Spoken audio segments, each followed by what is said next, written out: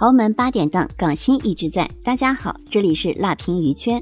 有钱有颜，身边的追求者络绎不绝。当年五十二岁的国际影后巩俐，在所有人惊讶的目光中，嫁给七十岁离过三次婚的米歇尔。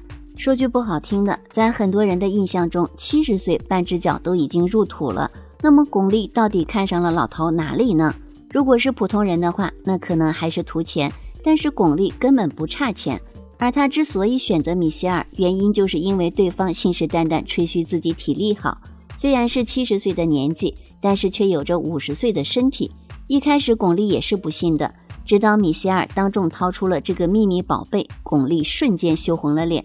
提到巩俐，那就不得不提张艺谋。无论是感情还是事业，张艺谋对于巩俐而言都是生命中不可替代的存在。有句话说，在电影上，巩俐离不开张艺谋；在感情上，张艺谋逃不过巩俐。巩俐的成名之路并非一帆风顺，如果不是当年的那份执念，可能就不会有后来的巩皇。巩俐从小爱好文艺，喜欢唱歌跳舞，性格活泼开朗，乐于在集体面前展现自己。梦想是当演员，偶像是周采芹。周采芹可不简单，她是第一个考上英国皇家戏剧艺术学院的中国学生。是行业内的领衔人物，有这样的偶像，足以见得他的追求远大。在表演方面，巩俐无疑是出色的，但高考文化课成了他的弱项，接连三次复读都没能考上心仪的学校。父母都认为他不是读书的那块料，劝其尽早放弃。但巩俐偏不认命，一边打工一边学习，他已经竭尽全力，可惜结果并不如愿。第四次考试与中央戏剧学院文化课分数线还是相差十一分。由于他的表演太有灵气，评委老师们认为这是个天生的演员，于是向学校申请破格录取了巩俐。果然，越努力才会越幸运，有天赋和能力的人注定不会被埋没。一九八五年，二十岁的巩俐踏入了中央戏剧学院的大门，她和史可、吴宇娟、金丽丽、张伟组成了八五级表演系五朵金花，他们才是初代五朵金花。章子怡、曾黎等人都是后话了。巩俐正尽情享受大学生活的美好，另一边的张艺谋准备把《红高粱》翻拍成电影，正在为寻找女主角发愁。也就是在这期间，两人相遇了。张艺谋拉着顾长卫来到了中戏，见了许多女学生都没有符合标准的。他们理想中的九儿应该是身形微胖、独具风韵美。转几圈下来，只有史可较为符合，所以就选她为女主角。几人准备离校时，巩俐才从校外匆匆赶回来。最终在老师的力荐下，她参加了试镜。就在那不到一分钟里，张艺谋就决定了九儿这个角色非她不可。在张艺谋眼里，她既有九儿身上的野性，也流露出独特的女性美，别有韵味。尽管莫言表示过反对，不过最终在张艺谋的坚持下，还是选择了巩俐。她就这样鬼使神差出演了《红高粱》。与其说是幸运，不如说是命中注定。在开启演艺道路的同时，一段刻骨铭心的恋情也向他慢慢靠近。张艺谋、巩俐、姜文、陈凯歌、顾长卫这些人后来都成为了中国电影行业的顶尖人物。但回忆起拍摄《红高粱》时，几人一起在山东高密同吃住种高粱的时光，还是会忍不住感慨：经过长期的阳光暴晒，他们皮肤一个比一个黑，站在村民中根本找不出来。同身上皮肤一起变化的，还有张艺谋和巩俐之间的感情。一个是才华横溢的导演，一个是为表演而生的演员，这简直是天作之合。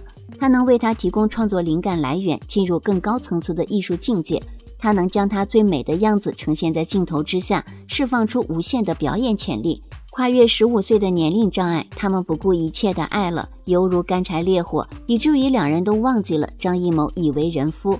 红高粱让巩俐一炮而红，可谓出道即巅峰。两人的爱恋随之曝光，张艺谋选择了与结发之妻离婚，他们也无需忍受道德伦理上的不适。此后的几年时间里，是两人事业上的辉煌期。菊豆、大红灯笼高高挂、秋菊打官司、霸王别姬、活着，每一部都是高质量佳作，从国内走上国际领奖台。从小有名气到享誉世界，只要是有张艺谋的地方，必定伴随着巩俐。他们的结合不仅仅是小情小爱，互相成就，彼此惺惺相惜，共同促进了中国电影史的发展。事业和爱情上都是最佳拍档。在多年后的采访中，张艺谋依旧毫不犹豫地说：“巩俐是我的缪斯女神。”他对巩俐的感情或许更多的是艺术上的敬仰和爱，所以始终没有想过和她步入婚姻殿堂。当巩俐提出结婚时，他才会这样表示：“结婚不就是一张纸吗？你为什么非得看中这张纸呢？”他看中的从来不是一纸婚约，而是那份安全感。当巩俐认清现实后，毫不犹豫地转身离开了。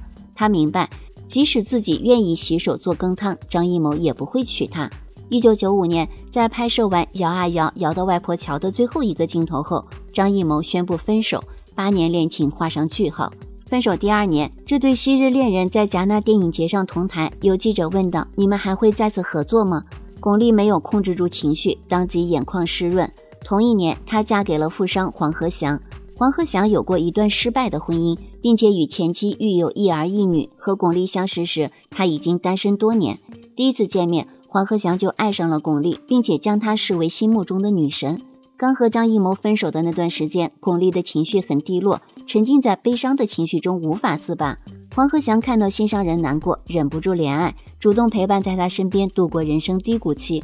这样的真诚让他原本已经死去的心再次悸动。一九九六年二月十五日，她与黄河祥结婚，巩俐终于穿上了梦寐已久的婚纱。只可惜新郎并不是自己当初想的那个人。不过，既然嫁了，她还是想维护好这段婚姻。婚后，巩俐跟随丈夫到香港生活，开始逐渐淡出影坛，精力放在了家庭上面。虽然巩俐在外界眼中是个性格霸道的巩皇，但在她的感情经历中会发现，强势的外表下隐藏着一颗柔软的心。她愿意在感情中做出适当的让步。婚后，他们一直想生个一男半女，为此尝试过许多办法。然而，天不遂人愿。二零零零年，黄鹤祥的事业受亚洲金融风暴影响，遭受重创，家庭经济陷入危机。巩俐开始复出拍戏，先后主演《漂亮妈妈》《周瑜的火车》等电影。